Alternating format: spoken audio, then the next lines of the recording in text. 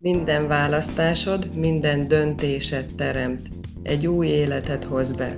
Hogyha követted eddig a sorozatunkat, akkor tudod azt, hogy ahhoz, hogy realisztikusan, élethűen tudjál rajzolni, ahhoz fejben nézőpontváltásra van szükség. És felhívtam már a figyelmet arra, hogy ne csak a rajzolásban, hanem a gondolkodásmódban is válts nézőpontot. Ma is egy olyan nézőpontváltásra invitállak, ami remélem, hogy ad egy kis fogódzót az élethez.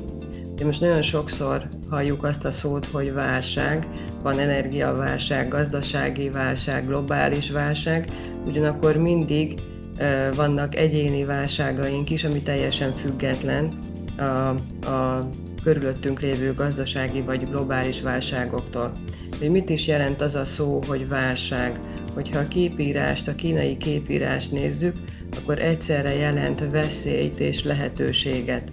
És hogy te mi az, amire irányítod a figyelmedet, ami válság idején a félelemmel tölt el, vagy azt a lehetőséget keresed, amit meg tudsz ragadni egy ilyen időszakban.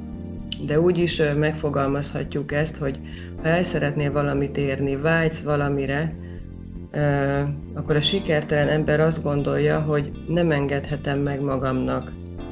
A sikeres ember ellenben azt keresi, hogy hogyan engedhetem meg magamnak. Tehát, hogyha szeretnél valamit, szeretnél valamit elérni, akkor válts nézőpontos és, nézőpontot, és keresd azt a lehetőséget, hogy hogyan engedhetem meg magamnak.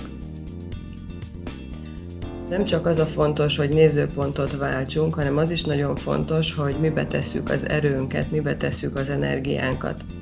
Olyan tevékenységbe, ami építi a magabiztosságunkat, a sikerélményünket, egy olyan tevékenységbe, ami, amivel, amit magamba töltök, ami feltölt, örömet ad, ami segít a flow tudatállapotba kerülni, olyan tevékenységgel, ami boldogabbá tesz.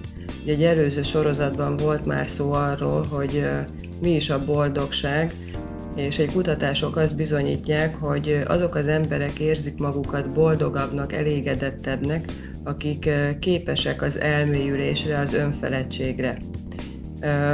Képesek belefeledkezni valamibe annyira, hogy meg tudnak feledkezni saját magukról, a saját problémájukról rajzolás és a festés az abszolút lehet egy ilyen tevékenység, miben könnyen bele tudsz kerülni a flow tudatállapotba, és abszolút magabiztosságot ad, hiszen sikerélményhez juttat, hiszen először egy pálcik embernél tartasz, utána pedig képes vagy valami olyat alkotni, amit még magad sem, magad sem gondoltál, hogy képes vagy rá, ez biztosan, hogy építi az önbizalmadat.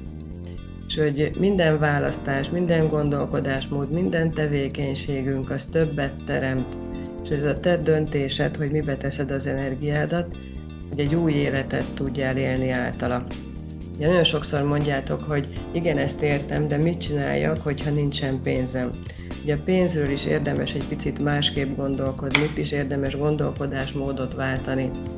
De nagyon fontos megkülönböztetni a pénznél azt, hogy az egy költség, egy fölösleges költség, vagy egy befektetés.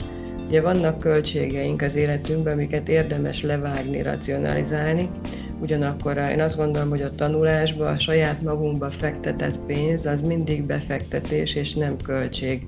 Azt kell nézni, hogy ez a befektetés, ez a tanulásba fektetett pénz, ez milyen hatással lesz az életedre, hogyan fog változni az életed, a körülményeid, hogyan fogsz viszonyulni az emberi kapcsolataidhoz, akkor, hogyha elkezdesz tanulni, akár rajzolni és festeni tanulni, hogy akkor te sokkal nyugodtabb leszel, sikerélményekkel teri leszel, sokkal magabiztosabb leszel.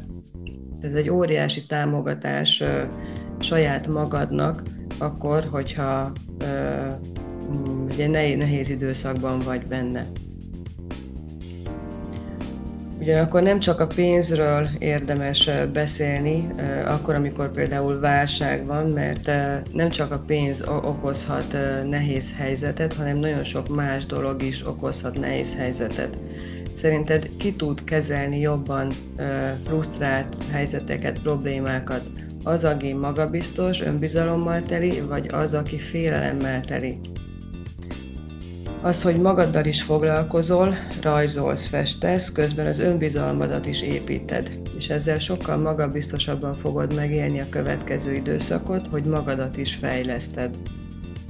Tudom azt, hogy alapvetően most, mint egy rajzolásról, festésről beszélünk, amire sokan csak legyintenek, hogy ez egy hobbi, Ugyanakkor én azt látom, hogy azok a tanítványaink, akik már régóta velünk vannak, persze elkezdenek rajzolni és festeni, de egy olyan belső átalakuláson mennek keresztül, mivel az én, ere, én erejüket tudják növelni, és így sokkal magabiztosabban tudnak élni, kiállni a hétköznapokban.